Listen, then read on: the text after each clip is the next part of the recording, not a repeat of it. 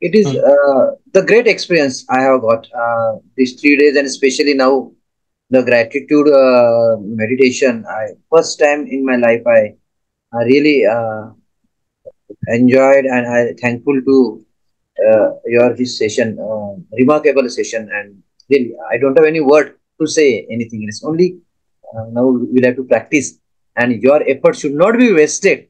That is our duty to see Mm. that. Uh, really, uh, I'm thankful, and I don't have any word about all this session three days, and especially now the gratitude uh, meditation you have taken. First time in my life, I am enjoying, and I enjoyed a lot. and thanks to you.